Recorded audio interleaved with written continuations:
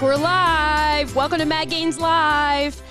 Bienvenidos a otro episodio de Mad Gains en vivo. Soy su host, Cassandra Gaines. Hoy tenemos un episodio con invitados especiales.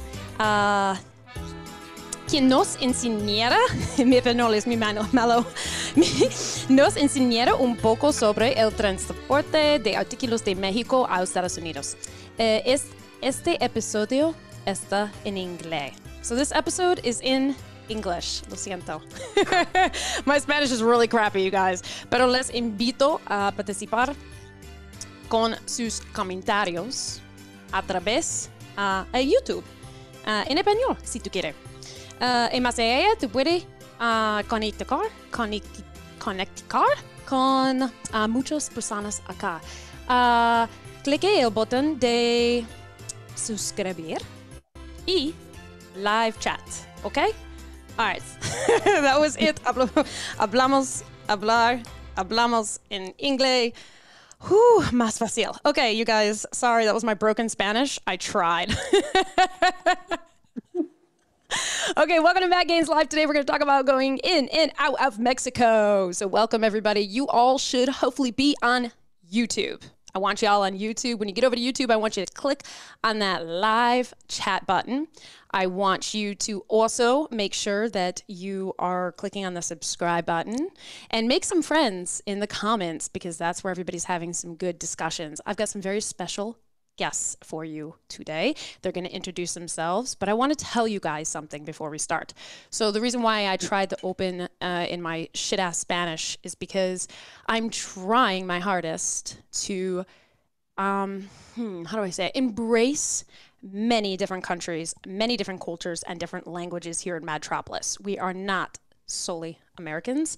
We are all. So when I launch my educational platform, I'm going to have education for in all languages and for everyone, including our friends in Mexico, uh, whom we love greatly. So I have special guest for you. First is going to be Carlos, because Carlos has been a friend of mine for a long time. If you need help in Mexico, legal help. He is the number one attorney to go to. He is your person. If you can't find his information, just email me and I'll send it to you right away. I've known him for years. I trust him with my life. Carlos, could you please introduce yourself? Of course, Cassandra. How are you? And hello to everybody from Mexico City. Um, my name is Carlos Sesma, and I'm a third generation attorney uh, in a law firm by the name of Sesma Sesma McNeese. Uh, I've been working in the transportation and logistics space for ever that I have any memory. Uh, since I'm, since my father also works in that space, and I've, I've been in that basically since I was born. So uh, I've had the pleasure of meeting a lot of good people, a lot of uh, good friends in this space, and um, I enjoy it very much.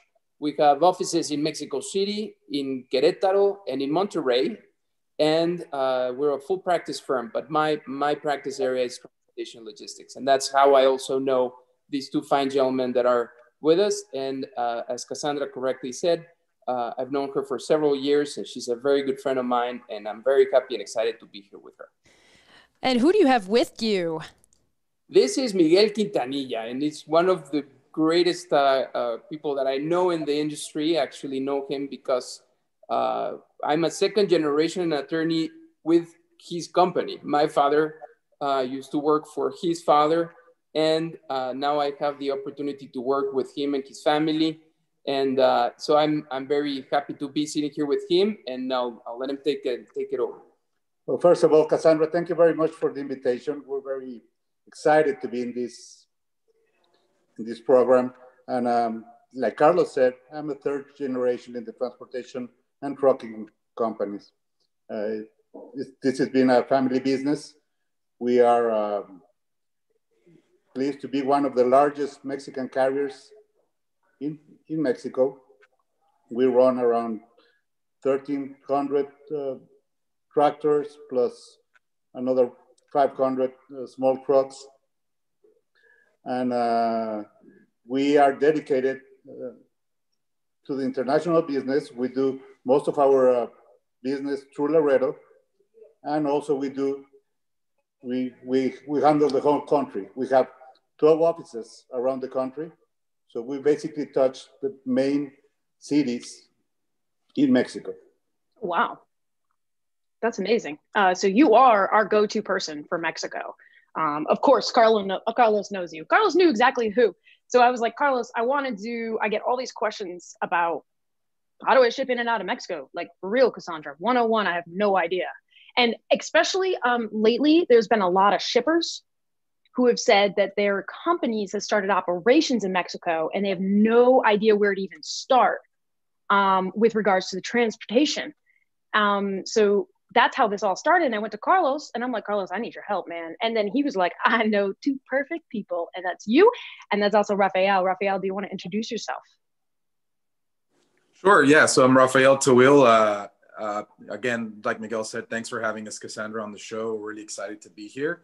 Um, Miguel, who just spoke uh, so eloquently a few minutes ago, is actually my boss. Um, so uh, I actually have a role uh, within TUM, which is I handle all the cross-border uh, business and all the freight that we handle into the United States. We actually have a small presence in the United States. Uh, currently, run about 250 tractors out of uh, Laredo, which is where our U.S. corporate office is.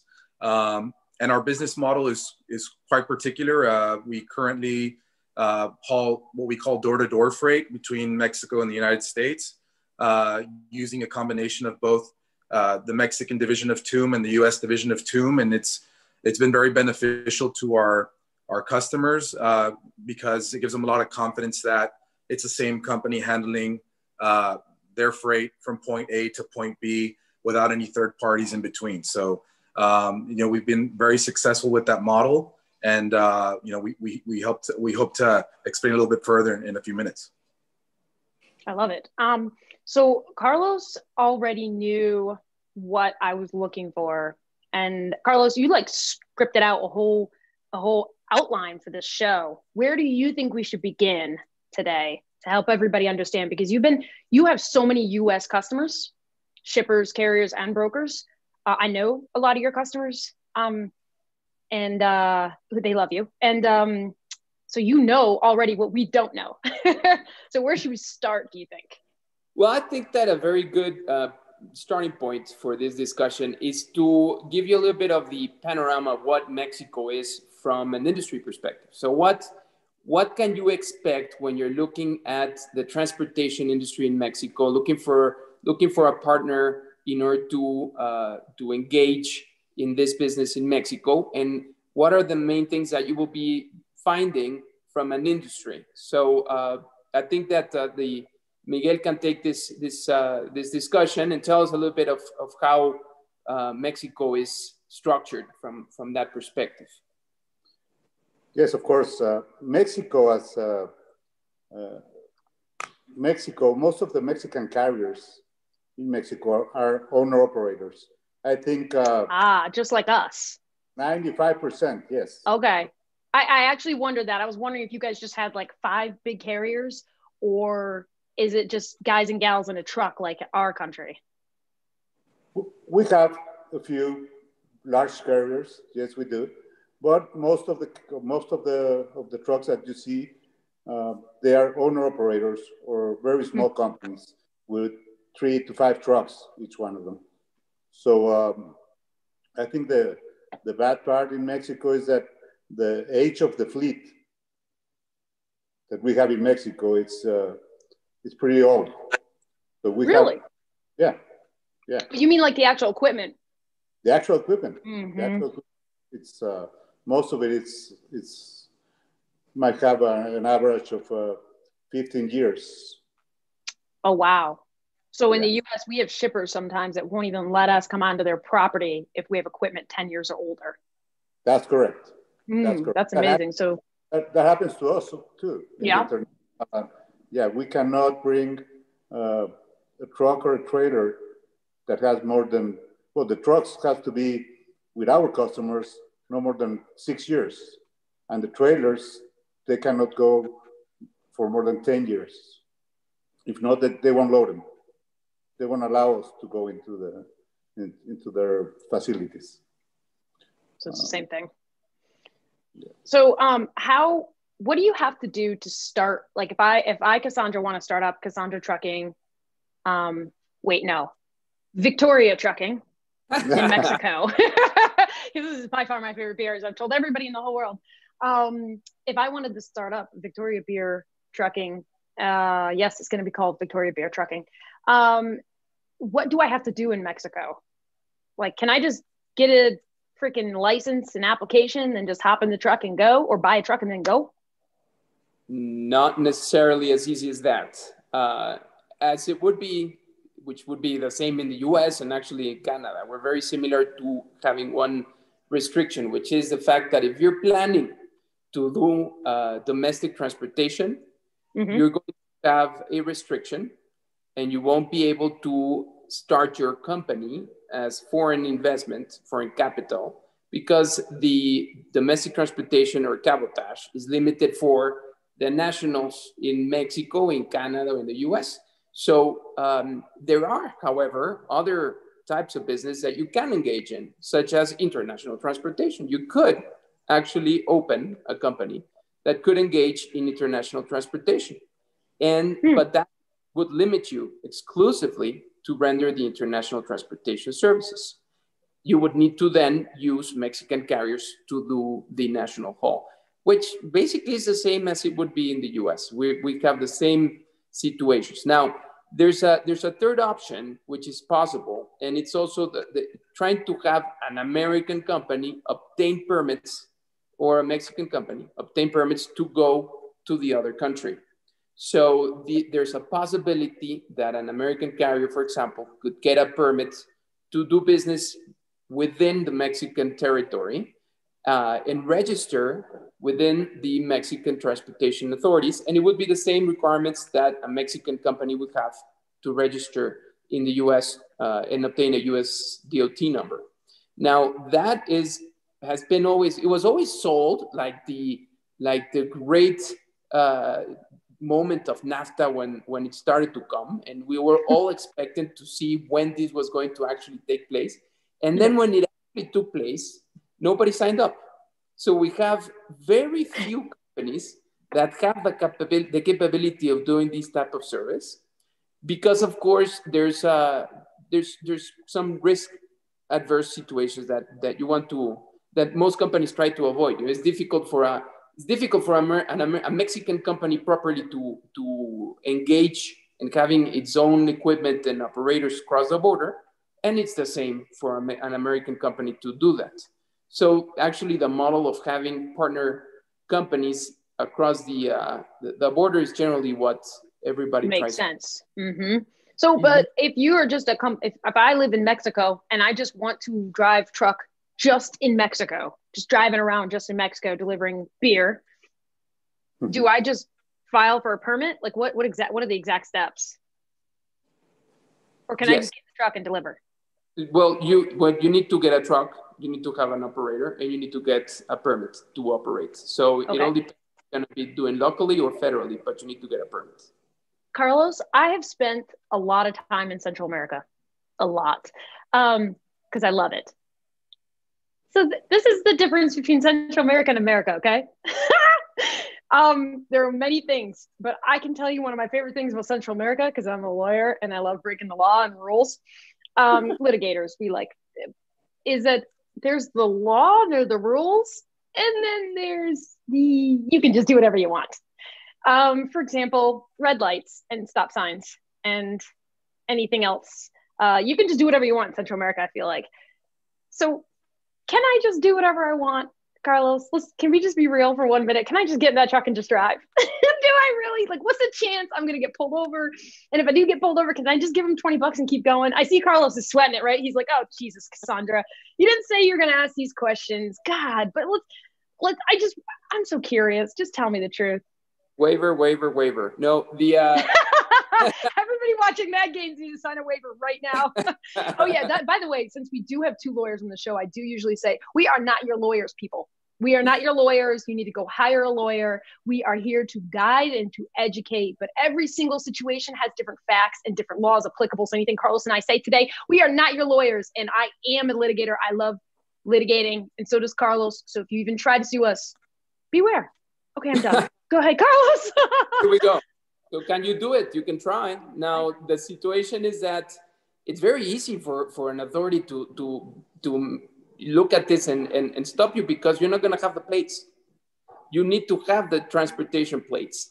So Can I buy them from someone, Carlos? I am a New Yorker, so we like to buy things. yeah, probably you could. Now still Or, or you can steal them. Or you can Yes! steal them from somebody.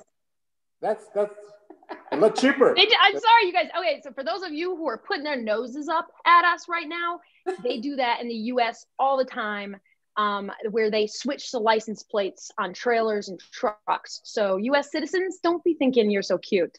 Okay, keep going. I'm sorry, I keep interrupting, but I love this topic. I so I've been driving around Central America, and my husband actually got really mad at me because when we go on vacation, we just rent a car and go. We go. Um, so anywhere, everywhere. And I like to take videos and pictures of trucks because I have no life. And uh, I often wonder, like, are those stickers real? Are they really yours? Or are they flopping onto other truck? Look, Carlos. Carlos was like, oh shit, I'm never coming on the show again. there's there's always gonna be something like that going on. But uh, Cool.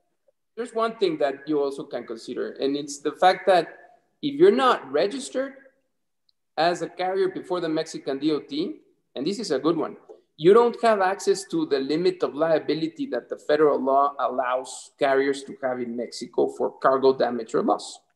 Ooh. So if you're not registered, you're basically liable for 100% of the cargo. If you're registered, you're liable for an approximation of $60 per ton of cargo. So Can you tell me what ton is? ton, What? how many pounds? a, a thousand kilos. Uh, pounds, Rafael? Carlos. It's all right. I'll Kilos. calculate you guys. Okay, There's somebody. Can you somebody put in the comments like how many pounds are in a ton? Because we have 44,000 pounds. We probably have 40,000 pounds of cargo on our trucks. So we're thinking, how many? How many did you say? Six dollars. Comments has to know. Hold on. A ver, vamos a ver. Ahí Uh, by the way, Miguel, uh, people already in the comments for some reason they're saying they love you. oh, thank you. I love Yeah, them too. you're already you already have fans. Uh, uh, Carlos, I'm sorry, they're not saying they love you yet. I think it's because you're a it. lawyer. That happens a lot, no worries. Ra- uh, Rafael, do you have anything to say? I'm going to completely derail Carlos's schedule and organization and to this uh, show. Rafael, when are you? Were you laughing at me when I was asking if you can just steal the plates, or if I can just get in that dri- truck and drive with a bunch of cash and just pay anybody off that I can, that pulls me over? Because that's what they do in the movies, Rafael.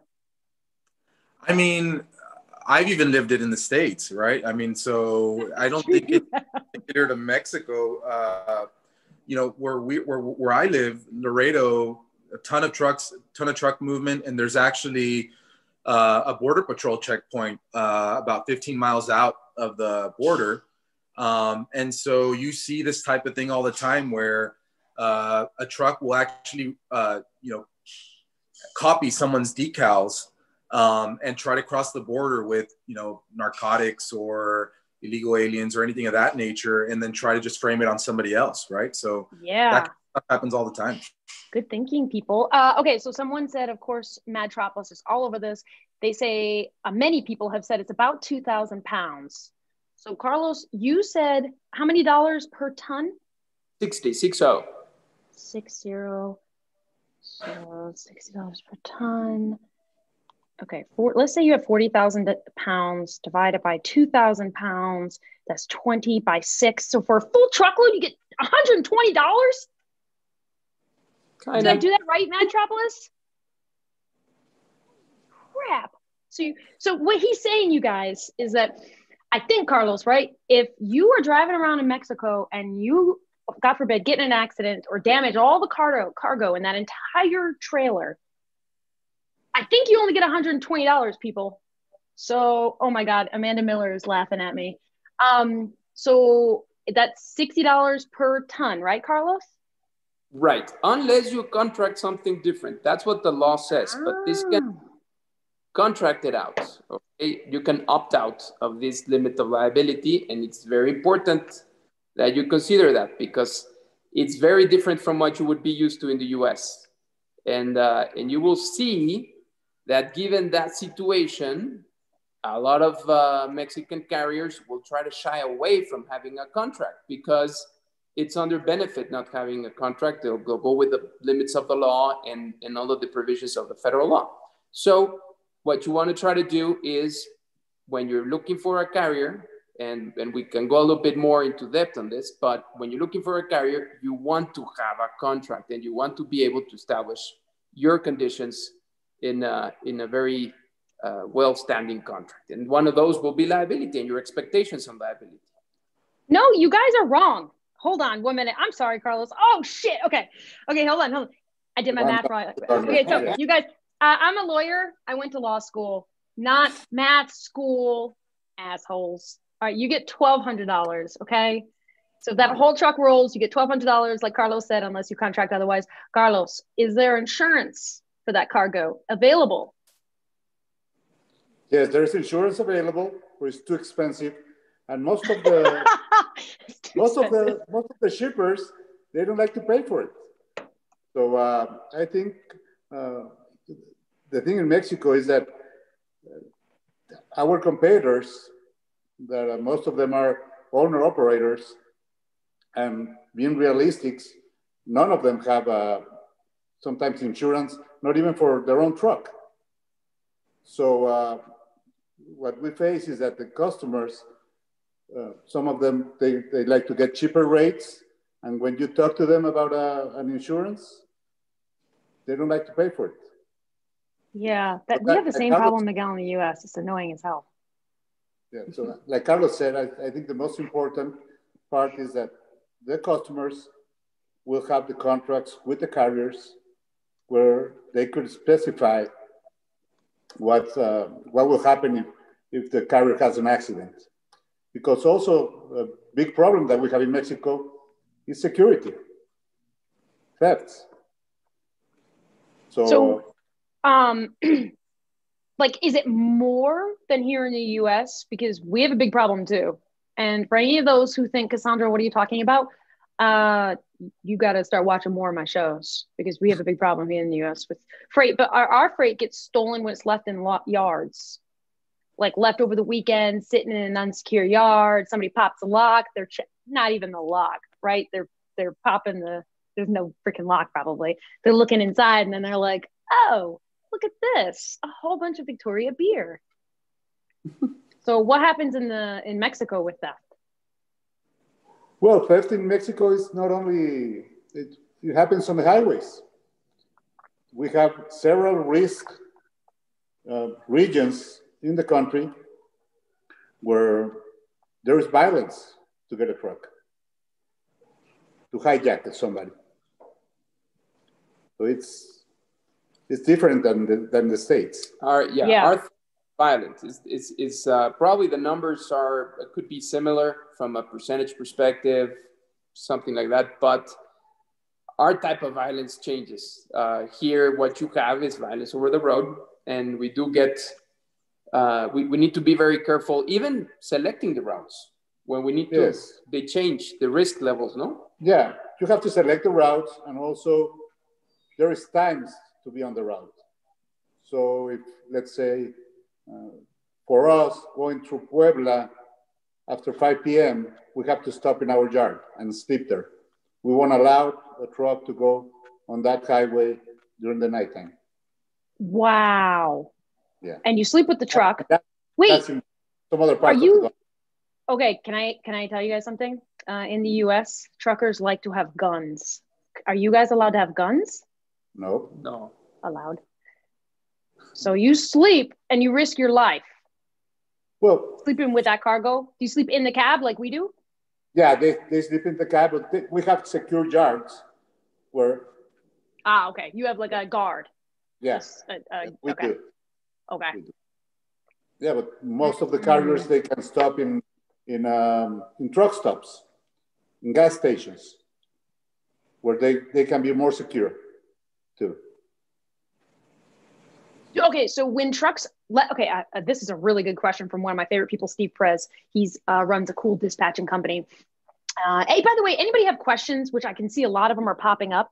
Um, make sure to find Amanda Miller. She is my favorite flatbed broker out of Alabama. She always has my back. She, you know, she usually texts me, messages me the questions that you guys have. Um, but one question has come through is do let's see, do trucks move in caravans to improve security? Like, do you have do you hire security to come with you?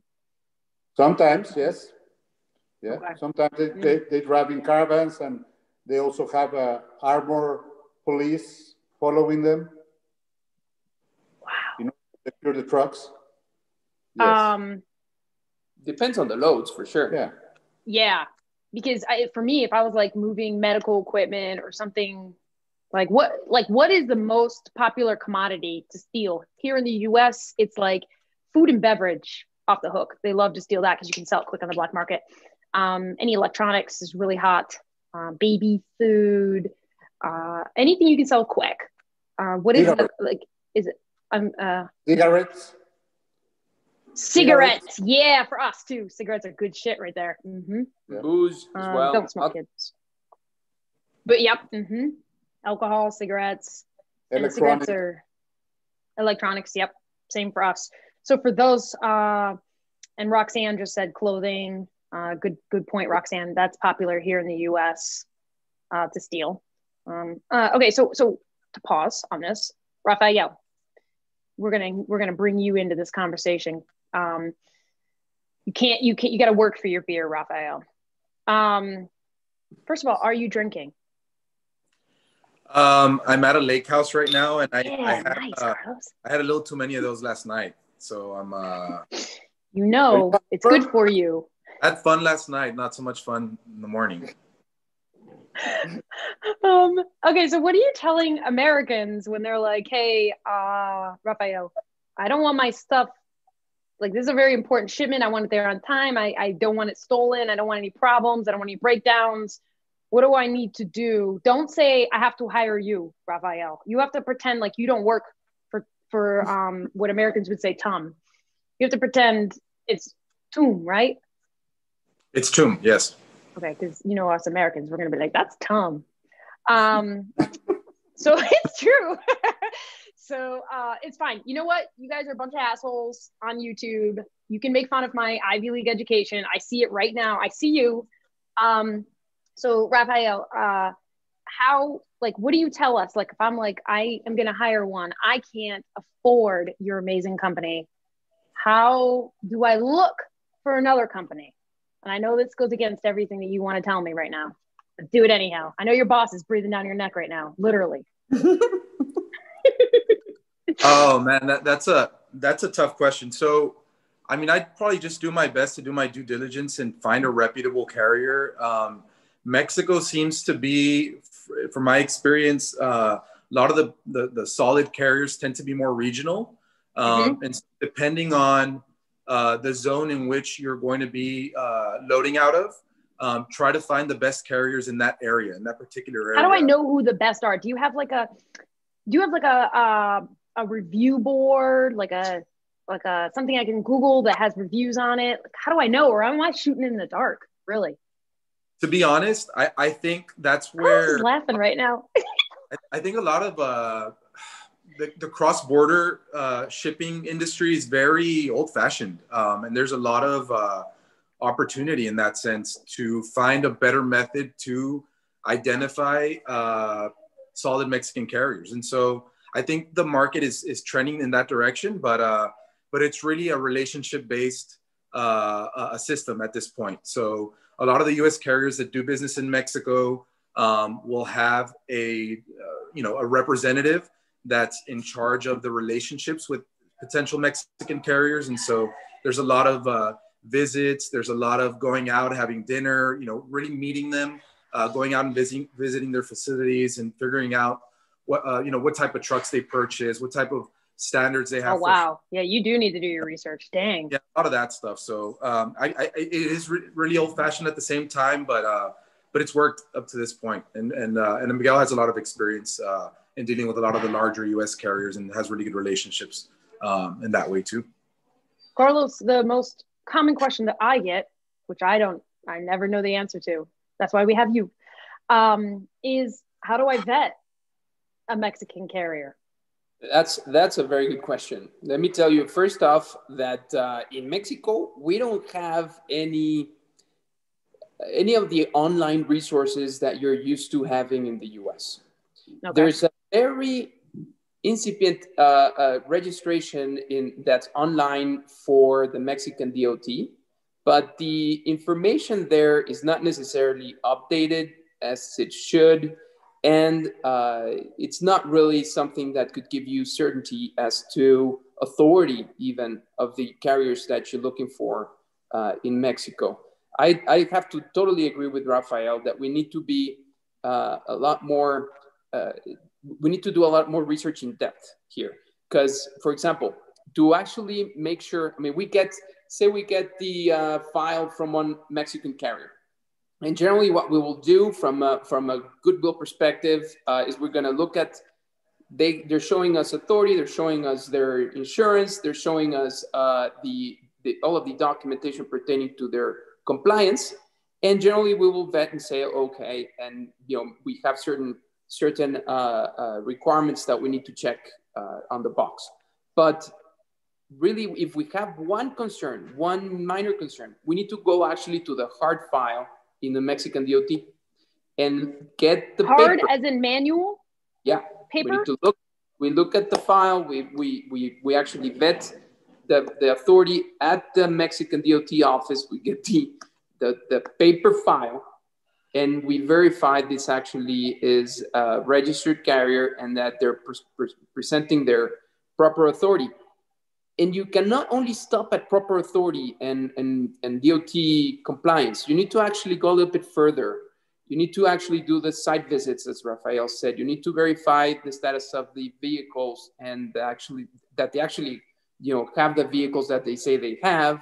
And you know to you, you need to also make sure that this is a company that is incorporated that it's in good standing. So it's it's a lot more that you need to do for for vetting in mexico. You won't have for example accident boards uh, where you could you know look at accident records uh, in in mexico. So it's going to be really hard for you to find the history of accidents of a specific carrier uh, oh wow. so, yeah you really need to go you know one step further. And as rafael says there's there's efforts in the market and uh, of, of getting this type of certifications in place by third parties. And uh, we think that in the short term there's going to be uh, offerings. But at this point you really need to do it rough. And and it's very important that you actually do it okay so my i'm to pause you right there because we're then at some point in time, don't let me forget, Carlos, we have to dive into the accident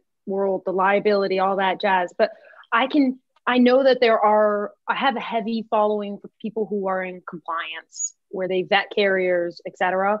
I know they're having heart attacks right now because they were hoping Carlos would say, go to this website and and request an insurance certificate and and now they're hearing not basically nothing like like uh so so what do what do we do, Carlos or Miguel or Rafael? I, I have got a I've got something I I forgot to mention. Uh, oh, good. There's there are they're not perfect, but there are certifications in place that Mexican carriers can have. So, for example, there's one called CTPAT uh, certification that's issued by uh, U.S. Customs and Border Protection. Mm, good point. That's a good uh, one. So, so there you're using you know, Homeland Security as a vetting uh, mechanism to determine whether or not the carrier is safe. Uh, I mentioned it wasn't perfect because I think it's been a while since uh, U.S. Customs authorities have actually gone and done the on-site visits in Mexico. Um, so it's it, you know it's not you know a, a, perfect way of determining whether or not they're they're a very safe carrier, but the fact that they're enrolled in the program um, you know says a lot. and so there's yeah. there's Pat. There's a new certification in Mexico, I think called OEA as well, that's been implemented as well. And then there's also, uh, you know, ISO, uh, which also is, exists in the US uh, as, as, a method of determining whether or not they, they, they, they run their operations uh, um, in, in, in, a, in, a, in, a, in, a, in a good fashion. So I think those are some some mechanisms are there in place, but it's definitely not not perfect. But then we have to know: Am I really hiring the company that has this entity? Yeah, Carlos knows what I'm talking about. Uh-huh. Uh, I think that would be something I would be worried about too. I'd be like, oh no, um, I don't know if I'd, I'd know what to do with that. Uh, you will find Cassandra in occasions that carriers have several companies. That's true. And they're going to have one that's CTPAT compliant and that they have everything in place, but they present a contract with another company within the yeah. same group. And then that's that all the time in the US doesn't too. Authority doesn't, you know, that that's that's where you need to to be very aware there's always there's always the possibility of having uh, somebody that actually knows the market. As, as Rafael was saying, you need to have an individual that that that's going to help you with the carrier selection in the market. Somebody that's that's well versed uh, within the, the Mexican market, and a lot of this is managed again through relations. So these individuals have to have experience. They have to they have to have a, a little bit of knowledge in the market that they can put you together with with good carriers, no? Yeah, we have very good carriers in Mexico. I have excellent competitors. I mean, we have uh, good companies and uh, secure companies uh, with low incidents in, uh, in accidents. So um, I think also going through Canacar, that's a Mexican Chamber of Transportation, they could give you also a list of uh, carriers that are good all around the country. So, Canacar? Yeah, Canacar. That's the Mexican Chamber of Transportation. Okay. Um, all right. So for those of you who who feel like their heads are spinning a little bit, because I see some comments on here like, "Oh boy, this is the Wild Wild West." Da, da, da. It is kind of in the U.S. too. It sounds like we got to take Carlos's advice, and we just got to find people who are local. They know uh, they're trusted. We got to go back old fashioned ways of finding our friends. You guys have resources right here on this show that you can reach out to, and um, and and using them as resources because this isn't something that we can succeed via internet. Because you guys do, you guys are you guys have load boards or anything like that in Mexico, or are you using all U.S.? Yeah, I think it's important for those comments that we say two things probably, and that, and I'm pretty sure. Uh, Rafael and Miguel will agree with me on this. Um, we are a different country altogether, and we have a different language and a different government, and actually a different legal system that mm-hmm. what guys are used to having in the US and, and uh, that you use for your business. So, of course, there's going to be challenges and things are going to be different because we're totally a different story. But that doesn't mean that there's no not a sophisticated business office uh, offering here, and that the companies that are rendering service here, um, even down to certain owner operators, they're not going to be sophisticated in their offerings. We do have load boards. Uh, the companies that are uh, mid to top generally have uh, a very important technology offering um, that that's you know top notch, and you would be surprised that certain technology offerings of Mexican carriers would compete very importantly with uh, offerings in the US.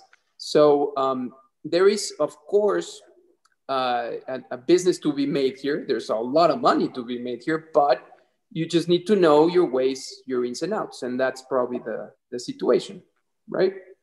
Yep, I agree. Um, so uh, for those of you, oh, by the way, I was just notified that LinkedIn has not been working. This is why I push all of you to YouTube because LinkedIn is still in beta form. And I have a beta account with LinkedIn, but it's very spotty. And I keep trying to warn people about that. So, those of you who are just joining us, I see you piling in on LinkedIn. Amanda Miller has put in the comments the link to go on over to YouTube and make sure to hit the live chat button and the, oh, the, I can't even speak English now. The subscribe button and um, join us because what we're talking about today with experts, we have Carlos, we have Miguel, we have Rafael, and we're talking about moving freight in and out of Mexico, which is a world that not many of us truly know and understand. Big key takeaways is it sounds like Miguel, it sounds like from you, um, there are a lot of complexities similar to the US with regards to running a trucking company. Um, uh, you have owner operators, um, and you have to deal with expensive equipment like we do. Um, and do you have regulations around safety?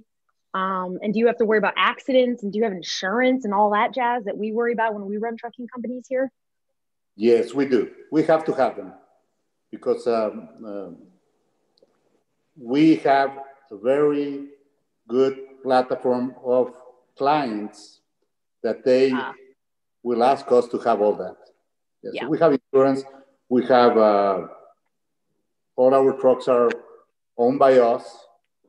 Trailers too. Uh, we have uh, security devices in all the in all the in all the trucks and trailers. So we have GPS in all of them. I was going to ask you about that with track and trace because we're all obsessed with track and trace in the U.S. Uh, especially some sometimes. No offense to my shippers who are out there, but sometimes y'all get obsessed with track and trace. Um, I was going to ask Miguel about that too. Like they're like, hey, you know, where's my freight? Uh, uh, and you know, so you use GPS. I'm sure you call the drivers too. Do you have dispatchers?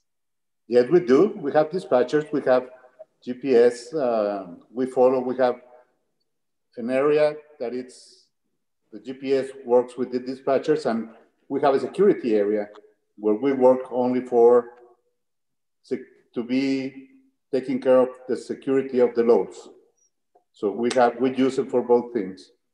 And right now, with the new technology that we are getting on the new trucks, we get um, also information regarding the, the truck and the driving, how the driver is doing, and and, and all of that. So we work a lot on uh, with our insurance company in order for us to reduce as much as possible the accidents with our drivers.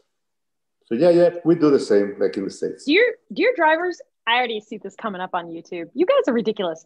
Your your drivers have hours that certain amount of hours they're allowed to drive and certain amount of hours are not allowed to drive. Yes, like laws, yes, not danger. There, there, there is there is a law, but um, nobody. I the, the big companies we have to yeah, you have to. Mm-hmm. The other the other carriers or the small companies, they actually don't pay attention to that.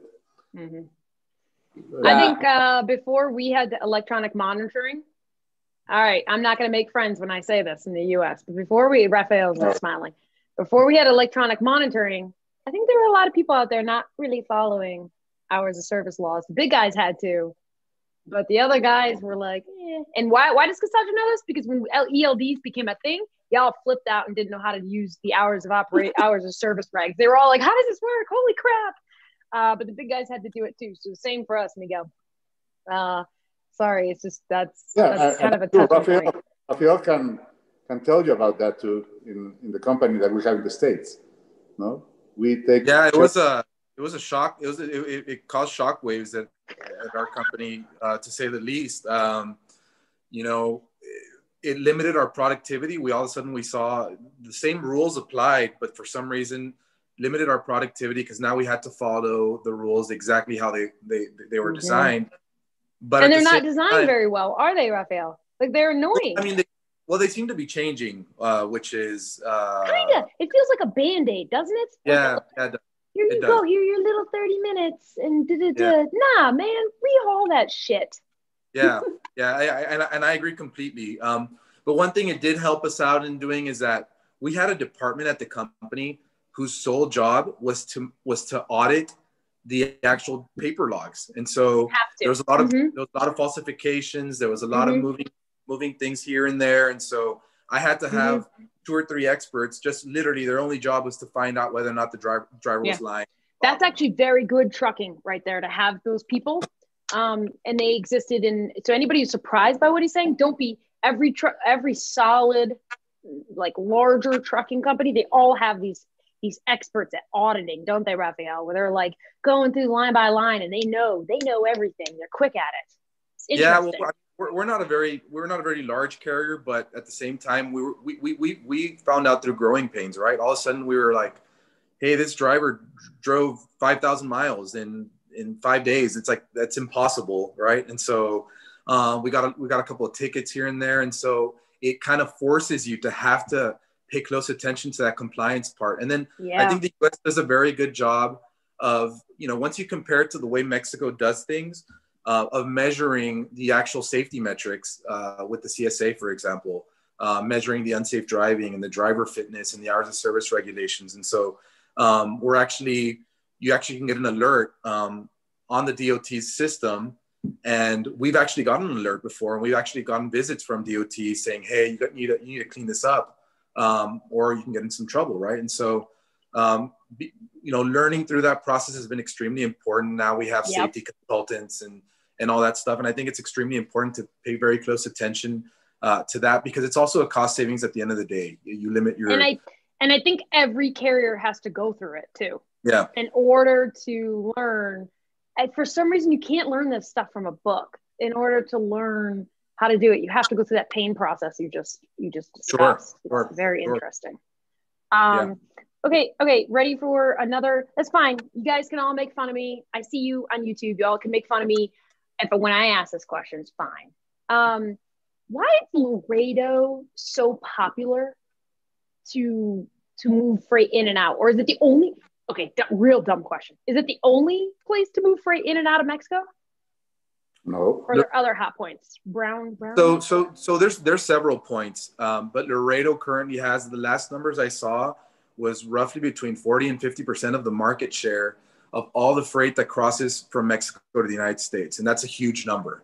Um, and so, I mean, I think part of it is it's, it's a very good geographic uh, point to cross the the freight through because it hits the I-35 corridor where you get to Dallas, and Dallas is a very important distribution point where you can hit other uh, you know uh, parts of the country.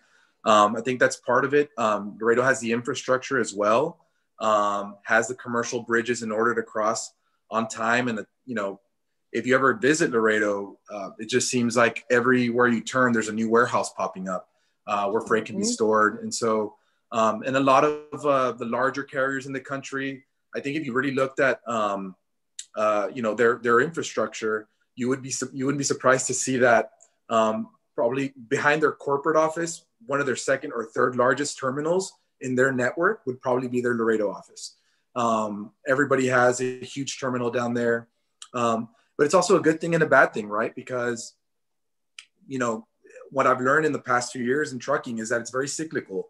Um, you had 2018, which was a really solid year for all trucking companies. Everyone was extremely profitable.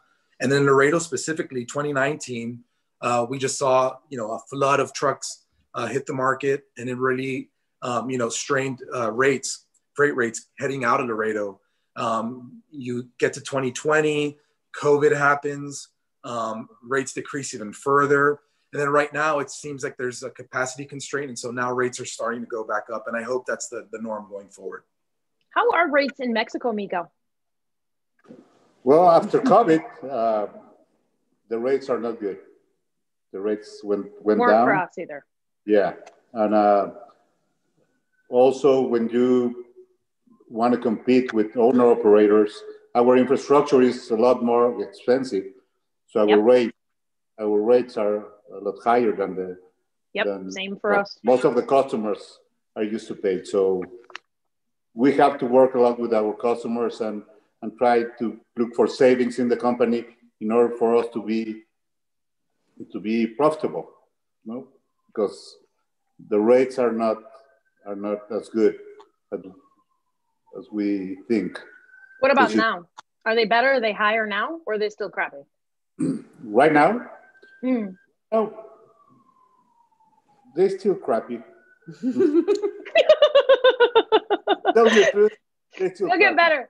Huh? Migo, lots of people are going to reach out to you for business anyhow because they know that you're legit. So uh, they will get better. But that's interesting. I think uh, we suffered the same thing during COVID. We had a we had a real real low period for rates, and then the carriers are all complaining, complaining, blaming brokers, blaming shippers. It was a mess. And then now the carriers are quiet because the rates are very high and there's capacity constraints. Um, um, and I think I think I think Rafael's seeing that. Rafael's seeing that in in Laredo too. Rafael, do you guys have operations in Brownsville? We don't, we don't currently, but um, you know that that area of Texas is actually very strong in uh, refrigerated transportation, and so that's something that in the future we we could definitely look into. Yeah, uh, I think. Oh, go ahead. Uh, yeah, and, and and sorry, another very important point regarding because we were talking about rates and uh, mm-hmm. and the Laredo market is very uh, uh, the market is for transportation is always northbound and southbound. Um, and so south right now northbound rates seem to be getting higher.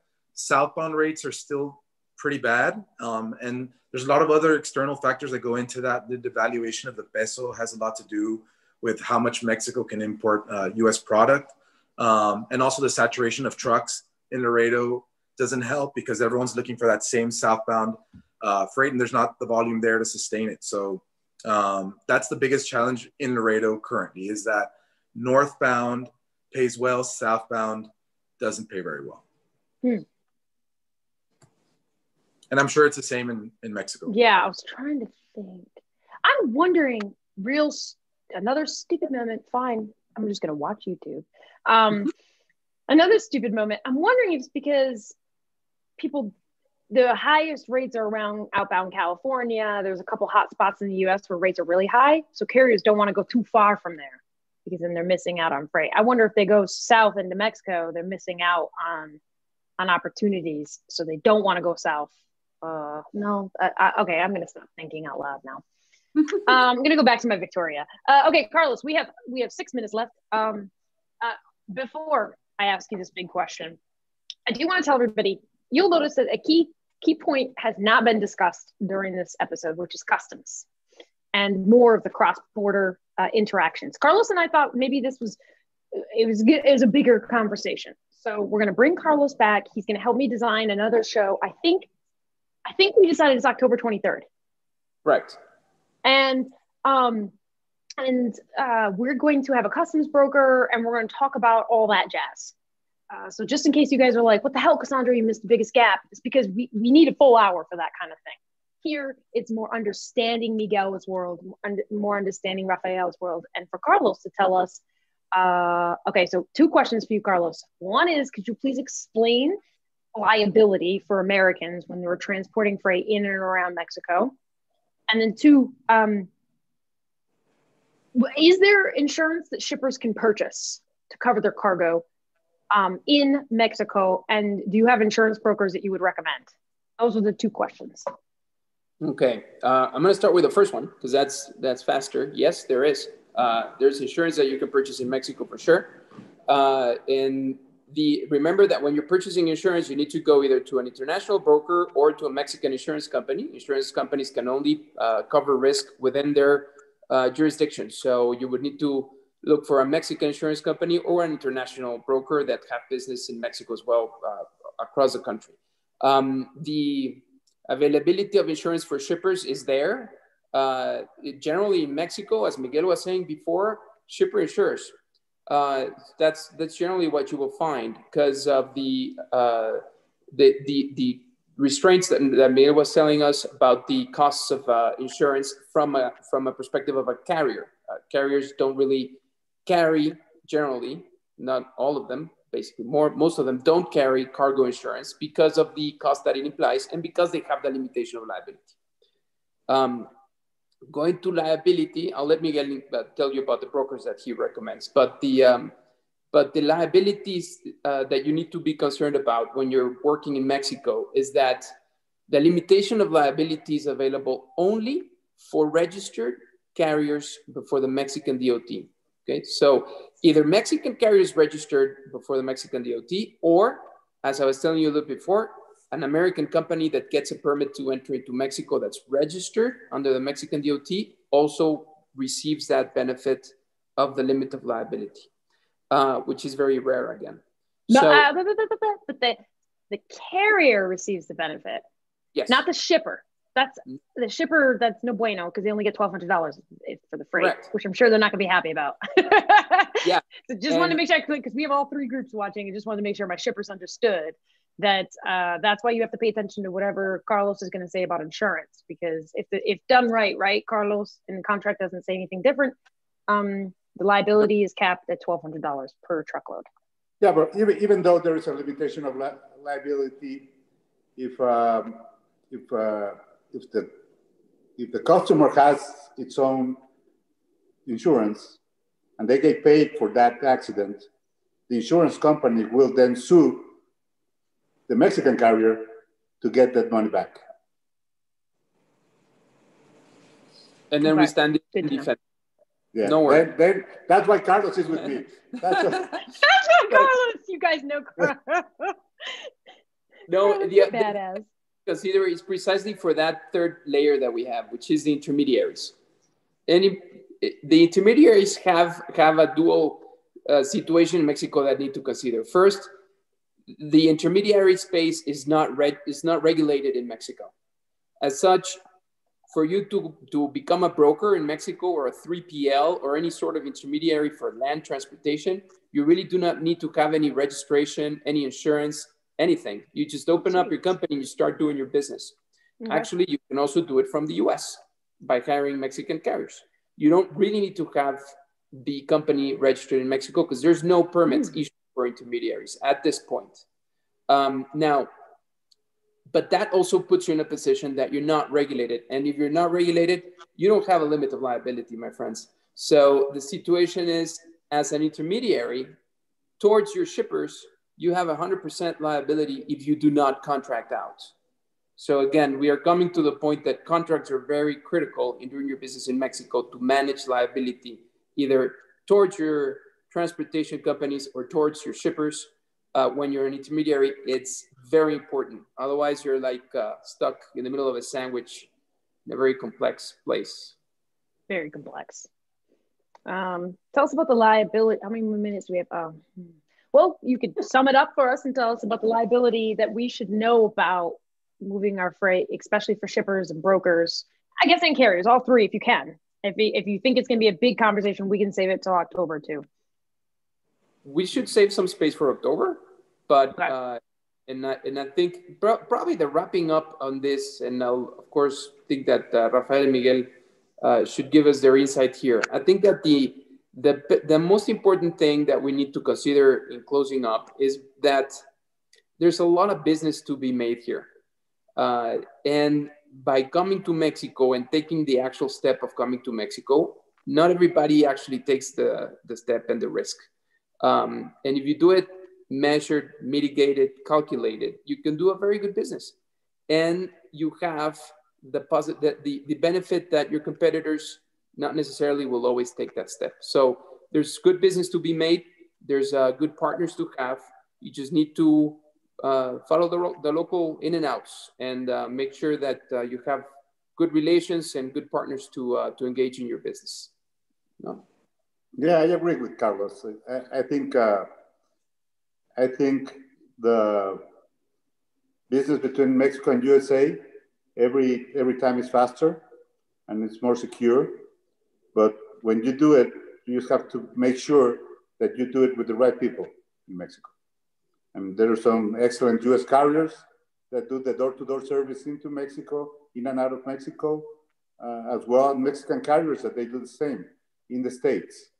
So um, it's just that you get close to those carriers or brokers, and you're going to be fine. Um, there's a lot to do in Mexico. Yeah, it sounds like it. Um, it sounds like you know we're lucky to have you guys too. Rafael, do you have some key takeaways for us? And and uh, and I think at some point in time we should we should do a little bit more about uh, your world in an episode as well because um, we didn't touch on your world as much as I wanted to, but that always happens. Sure. Yeah. I mean, just echoing what Carlos said, I think it's extremely uh, you know, true. Um, there seems to be a huge uh, boom in manufacturing in Mexico.